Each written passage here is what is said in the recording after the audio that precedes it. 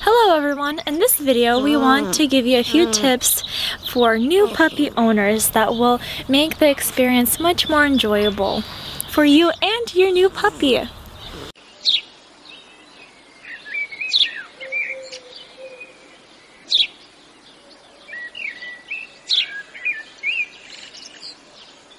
When you arrive home, it's very important to take them to an area where they can use the bathroom. You can use your lawn, gravel area, or a chipped area like we have here. Um, it's a good idea to keep your puppy on a leash. That way they're not running around and you're not losing them the first day you bring them home.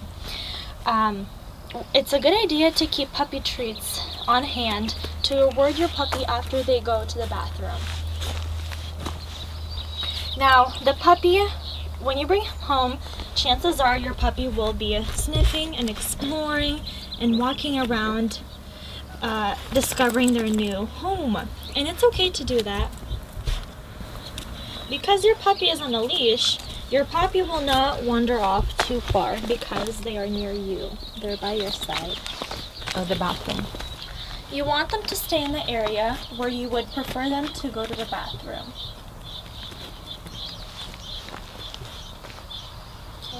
Puppies go to the bathroom after they wake up, play, and eat. So make sure you are able to take them outside and they go to the bathroom after those three things. Mm-hmm. Okay. Puppies are small and they can't hold very long, so it's a good idea to take your puppy out every few hours, especially every hour or two hours, at least.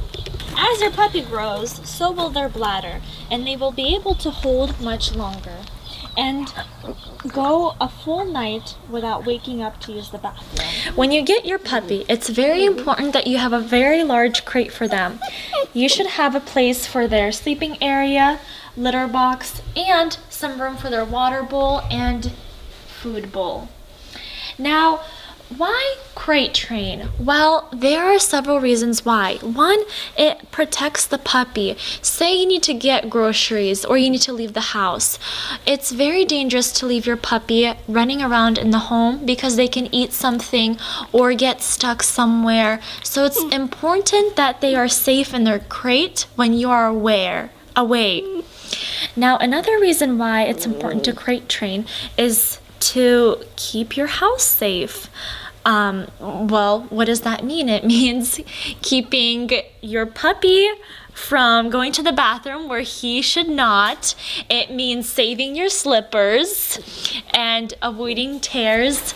It also means curtains, floor length curtains, bedding, furniture, um, couches, or even hardwood floors. I mean, puppies, they see everything as a toy. They're very playful, and if they want to chew on something, they will. So, one, to keep your puppy safe, and to keep your house safe. Now, when puppies wake up, they naturally go to the bathroom. So it's very convenient to have the bathroom area right next to the sleeping area. The puppy will have no excuse to miss or go somewhere where they shouldn't. Ideally, you want to have the bathroom area in the back of the crate um, and the sleeping area in the front. That is because when you come to get your puppy at the door, the puppy will not be dancing or like um, walking or stepping in the bathroom area and getting dirty. They will be in the clean part of the crate. So, the ideal material for the... Max just woke up. This is Max. Hello, everyone. Um, so the ideal litter box material is shavings rather than newspaper. You can have the newspaper underneath everything to catch any spillages or accidents, who knows. But if you have the right size crate, your puppy will be trained and safe and accommodated. Also, puppies, again, have sharp teeth. You can see that Max has started to tear the bed.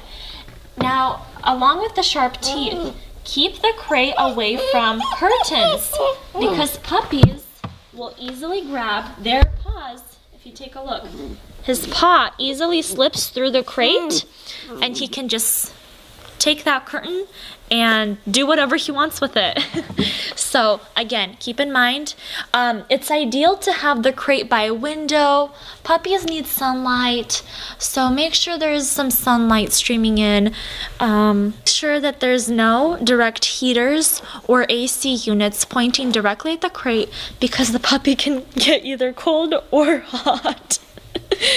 oh. Now, if you bought your puppy from a breeder who did train the puppies potty training and crate training, it'll be easier for you. But if you got a puppy from a breeder who did was not able to train the puppies, then you can with patience, you can teach your puppy to be potty trained and crate trained. If the puppy makes an accident, don't throw their waste away. Rather, take their waste and put it into a litter box so that way um, the puppy can smell his own waste and go in that area and he will associate the litter box with the bathroom. The first steps to teaching your puppy a crate training is to help is to open the crate to make sure that it's open door and put a yummy treat inside the crate so the puppy associates the crate with a pleasant experience. So here we have peanut butter, which dogs really enjoy. We spread peanut butter on a teething toy and we will put it inside the crate and leave the crate open. Okay. All right, Max, in you go. In you go. And I'm leaving the door open. Max is taking a peek inside.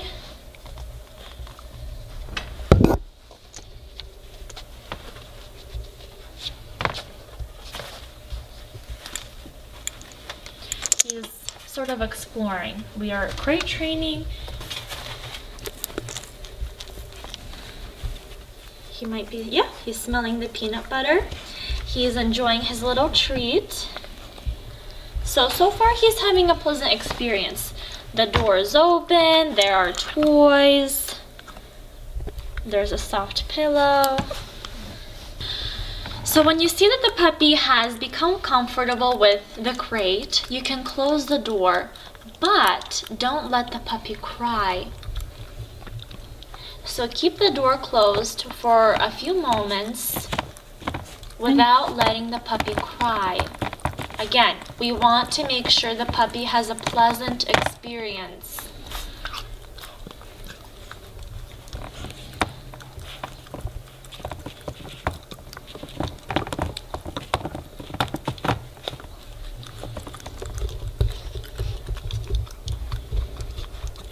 You doing okay, Max? All is good?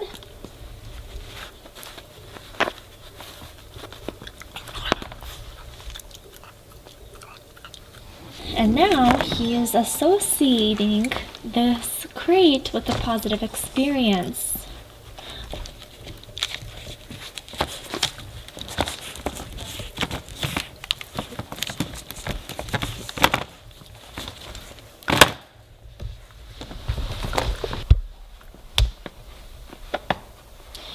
So when your puppy is in their crate, instead of tearing up multiple things, they are most likely just going to tear up their bed, which isn't as bad as getting damage to your other furniture.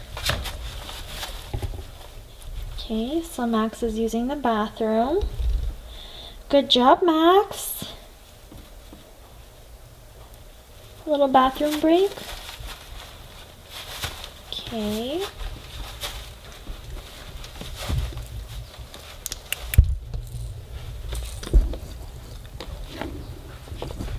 Again, there is no other room for the puppy to make a mess other than their designated litter box. So now he's drinking water.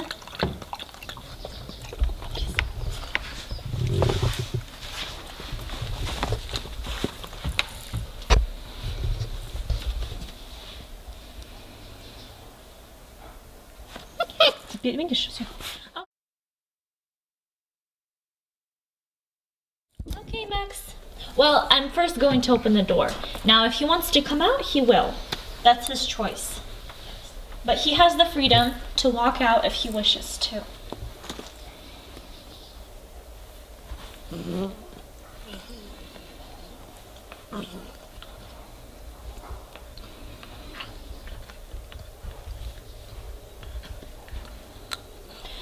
So as you can see, this crate has everything Max needs. Food, water, yummy treats, toys, a soft area to sleep, and a litter box. And that's why he is not, um, he's not feeling anxious or wanting to get out of the crate.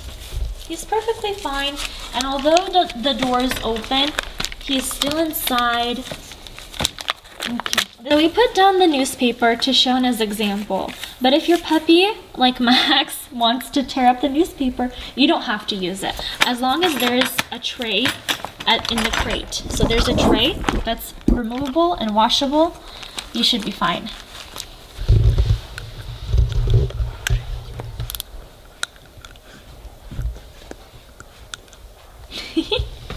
hey buddy, you doing okay?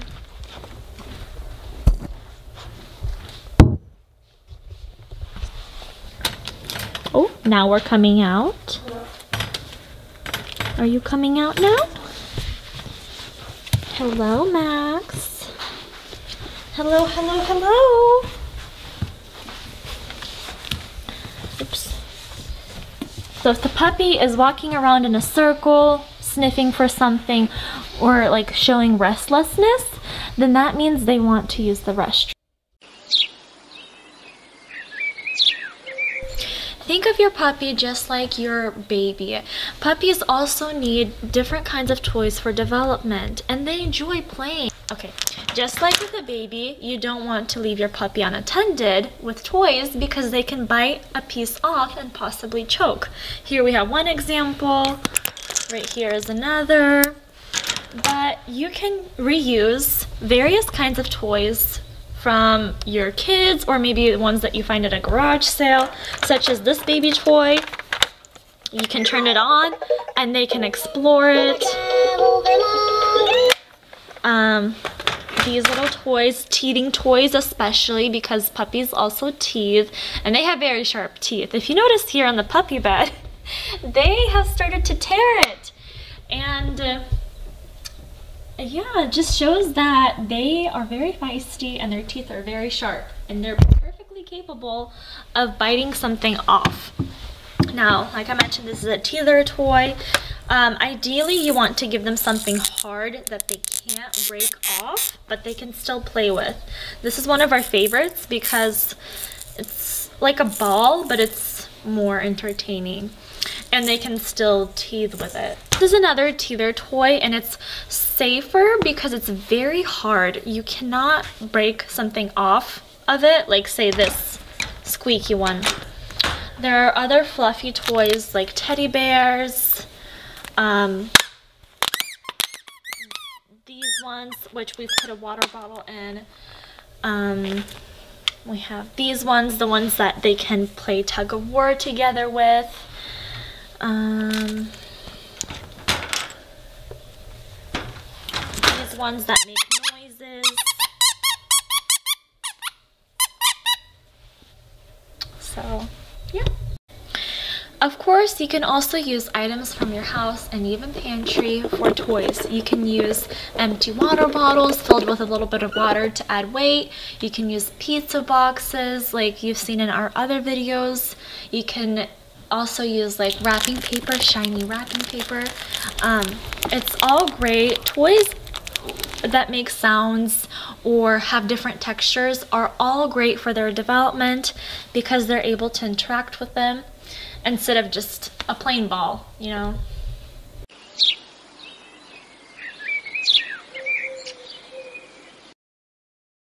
Training your puppy is very important. When you teach your puppy to sit and wait and look up at you, it helps the puppy understand that when they want something, they should wait patiently to get your attention instead of running around everywhere. Before beginning your puppy training, let your puppy explore the area where you will train him and make sure to have lots of yummy treats on hand. Dogs love yummy treats, and when training your puppy, it's important to have them to make sure that they become obedient and listen to you. Here we have boiled chicken breast, but you can use any lean meat of your choice. It's ideal to have homemade snacks because you know that there's no other additives or preservatives. Cook your meat. It's important that after cooking, you let it cool down and then store in the refrigerator for a maximum of two days.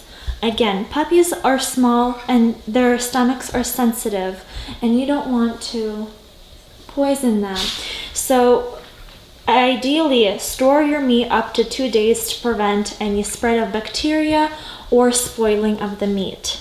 It's ideal to have homemade snacks for your puppy because you know that they are natural and don't contain any additives or unnecessary chemicals. Puppies are like little kids. You don't want to overwhelm them with long training sessions. For a puppy, one to two minutes of training is enough, and after that, you want to give them a break. For adult dogs, two to three minutes is enough at their age. And the reason why you don't want the trainings to be long is because if the puppy makes a mistake, they will learn that and they will keep doing that. So you don't want in that long training session for your puppy to learn something that you don't want them to. So which is why we want to keep the trainings to a brief, short session. First, let your puppy smell and try your yummy treat so that way you grab his attention and interest him. When you're training your puppy, make sure to give the treats through intervals. Start off frequently giving the treats, and then extend the time between each treat, building the puppy's patience. Eye contact is very important. During the initial trainings for your puppy, they may not look into your eyes at first, and that's okay. The most important goal is to have the puppy sitting and waiting patiently. Then he will gradually look into your eyes. To help the puppy make eye contact with you, you can bring up the treat closer to your face or find a moment and make eye contact with the puppy then.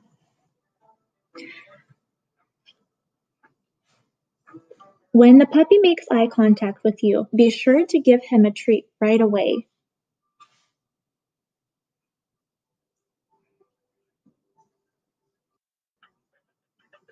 To have a productive training session and keep your puppy focused, a helpful tip is to allow the puppy to explore the area where you will be training him. Let the puppy wander around and get used to his surroundings. That way, he will not have the urge to do that during the training session. Behavior is learned, like in animals, like in humans. You are the owner, and you are the leader, so don't let your puppy boss you around. Make sure that all, all unwanted behavior is stopped immediately and all good behavior is rewarded. We hope these tips will be helpful in building a strong relationship with your new puppy. If you have any additional questions or comments, leave them down below and we'll get back to you.